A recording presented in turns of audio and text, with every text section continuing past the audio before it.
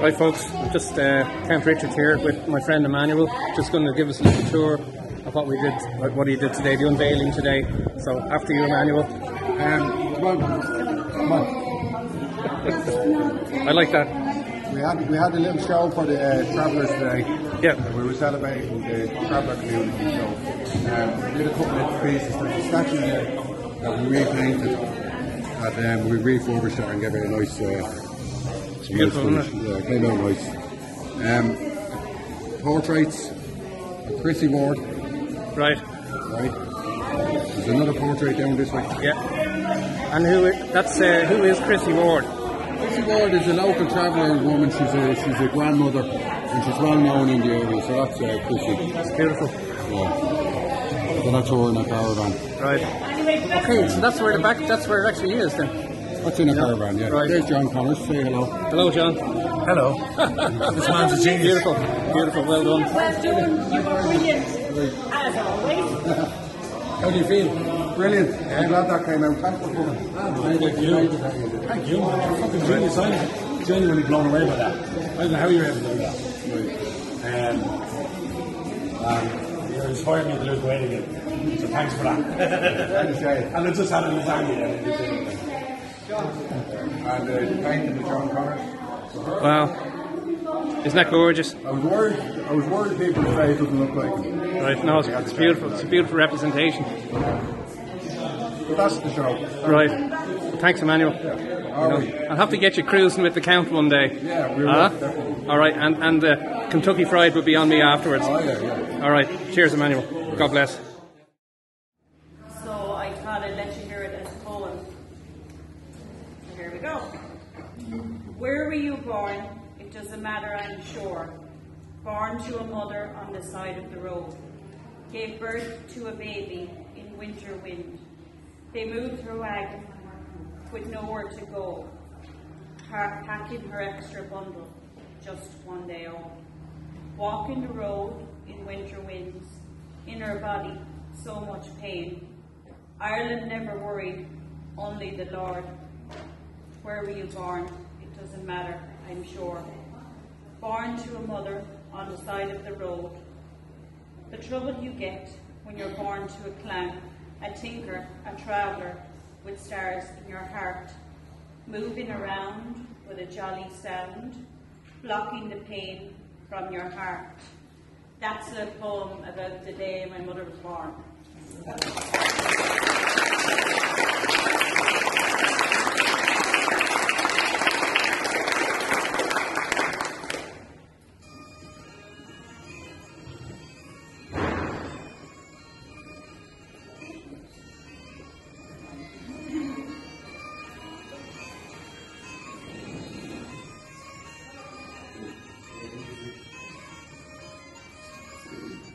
Ishtas Taylor, the traveller is she, a word from the artist.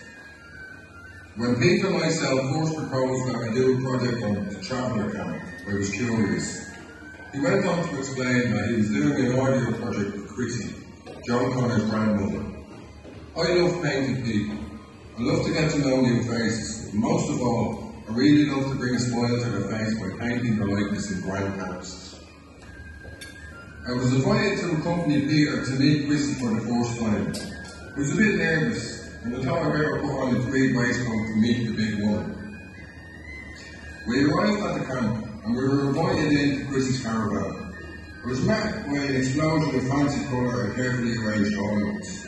She likes to keep antique ornaments around, polished and pristine. Every inch of shelf was full of them, and for me being a traditional painter, this was heaven. I am a self person, my brother is a carpenter. House is minimalist and utilitarian style, so I seldom see outside marvel at all the ornaments, including small statuettes of our Holy Mother Mary and even the saints. I was compelled to paint in the hope to capture just a glimpse of what it was like. I sat back surveying the interior as we supped tea and ate cake. I noticed Chrissy pronouncedly leaning back with her head angled back as she told stories of her life. She was looking me up and down, so very diligent on my mannerisms and suchness. I got a very strong sense that she was sizing me up and deciding whether I was a good person or not. This all made sense when she explained why her caravan was in the position it was in, just in the right spot to see that was coming. She's a very wise and true character for sure. And laced into this is the amazing grace and generosity she offered. I was very impressed by her character as we left for after ample cups of tea. When I was at home my work at my easel, I felt excited at the welcome I was shown that day. Of all the people, I was one who was allowed in to see, allowed to ask questions and allowed to share. That evening I on some ill music and began to drift off in my thoughts as I walked paint. It wasn't long before I was dancing in my knickers around my easel, with visions of celebrating, settling camp after a long road journey. The pot of tea was on and everybody was cheery. Somewhere deep in my ancient blood I felt I knew this. This was a part of my history too. It was a strange poetry that welled up in my spirit as I danced in joy. I felt closer and in great appreciation of the folks on camera. The paintings I am presenting now are a gesture of thanks for being allowed in. The work is not just to acknowledge the very important work that John Connors is busy with in Darndale, but it is also to give thanks simply for Chrissy being there and being who she is. She's a lovely woman and a gem of a character in Darndale and she really does deserve a place in our gallery. If you were ever invited to the camp, make sure she can see you coming, preferably with some cake and a story or two to tell. I promise you, you will come away glad as I was when I first began this project. The following pages now contain contributions from the camp alongside my own. I hope you enjoy how the project developed and find the work interesting at least. If you ever want to know more, I'm sure the gates of the camp are open and the getting is on.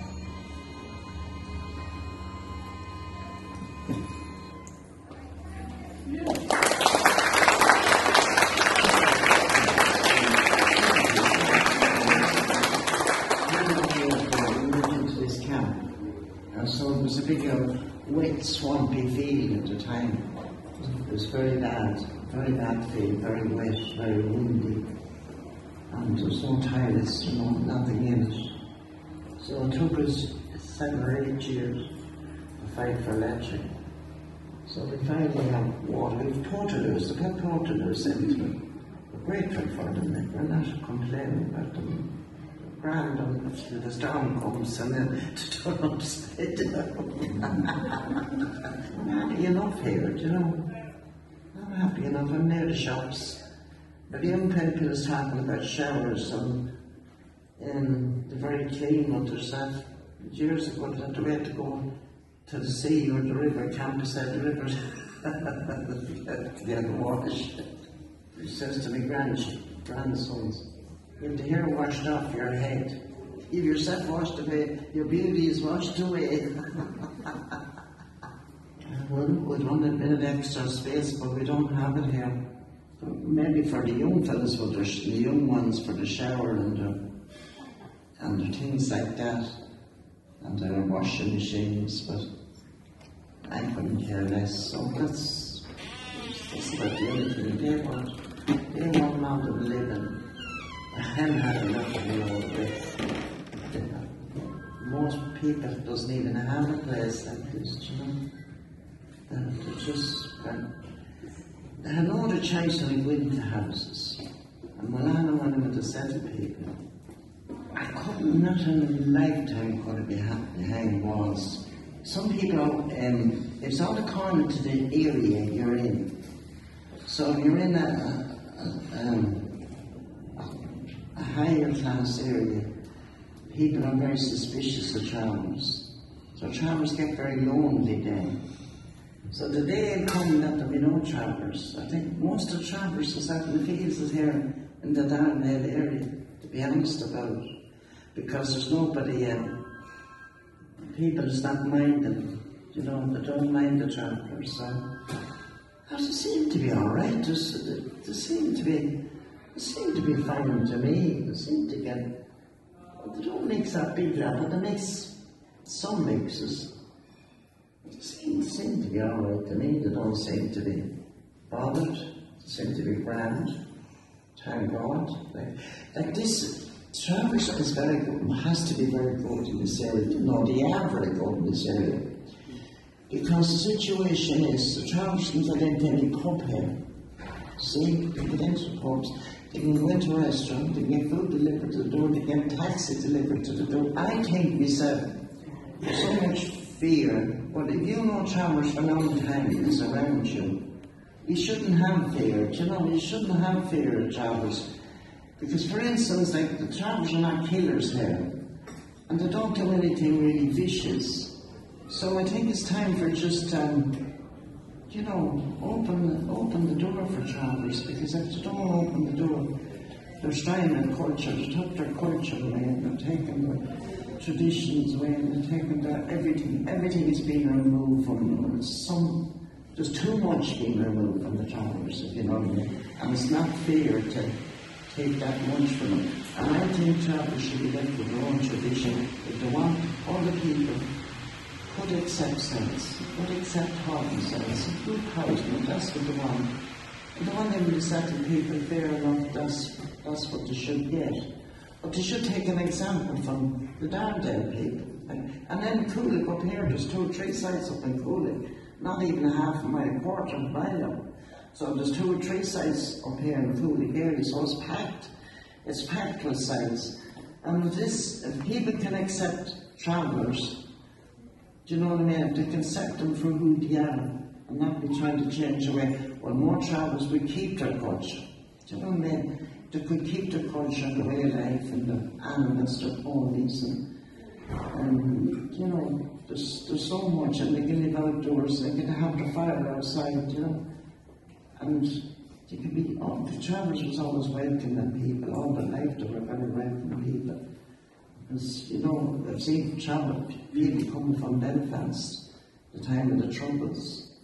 So my mother opened the door for them and, and them her own caravan, you know mean? So people, uh, you know, it should try and copy down Darndale. I think should. People should. Anybody wants there's a fear of travelers and fear of a lot of sites in around. They should get involved with it, with the people in there. You know, there's great groups over there. And should, uh, should give them a chance anyhow, see see how they behave. Because most travelers only want their own the group, you know? They only want to their own the group. That's how we ever camped with, was our own little. We never camped with crowds of people. We kind of kept our distance. Travelers usually kept their distance. They'd only meet up in a, let's say, a fair or a town or a village or where to be traveling.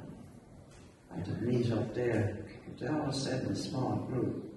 But I think I think that that was really really people and to be honest about they're very good people and they're good Christians.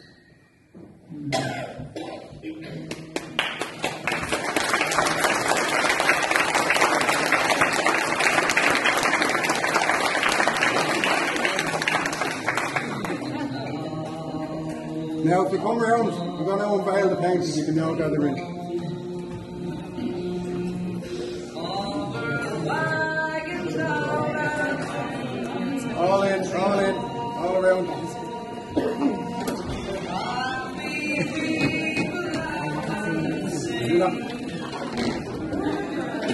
So this is, uh, the first one I painted was Chrissy in a caravan. So that's that one. Over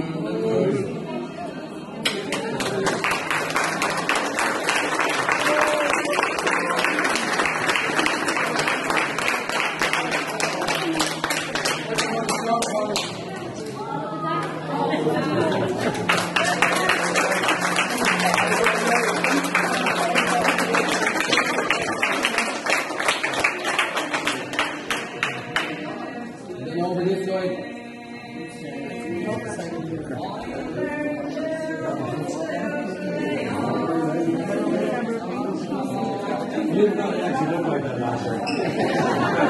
oh, a lot skinnier. That guy got it me there.